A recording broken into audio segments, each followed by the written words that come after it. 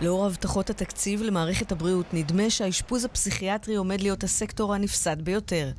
כפי שכבר פרסמנו כאן לראשונה, מנהלי בתי החולים הפסיכיאטריים אומרים כי אם לא יינתנו תקציבים שהובטחו לאשפוז הפסיכיאטרי, הם יתפטרו מתפקידם.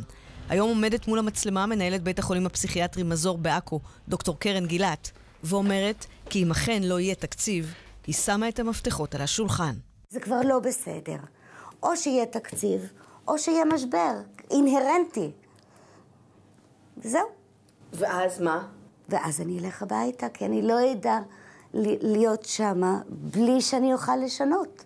להשאיר את המצב הקיים מבחינתי זה פשע, ואני לא אהיה שותפה. יש איזשהו גבול כשאתה משפיע לשינוי, או עומד מן הצד ושותק אל מול עוולות, ואני לא אשתוק.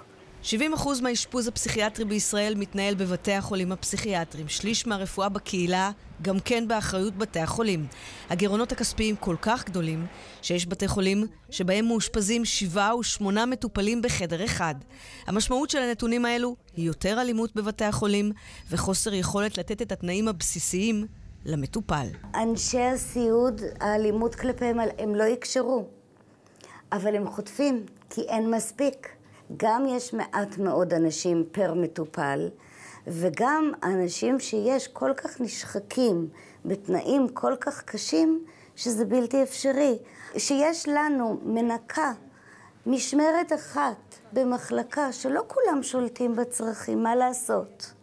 אז המצב הוא לא יכול להימשך ככה. מתוך 120 מחלקות פסיכיאטריות ברחבי הארץ, ב-60 מחלקות יש רק רופא מומחה אחד על כל המחלקה.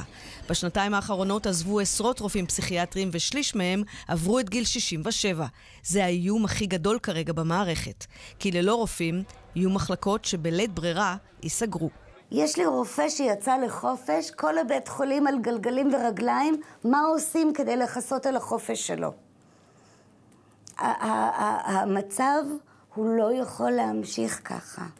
אני אוהבת את האנשים שלי, אני אוהבת את המטופלים שלי.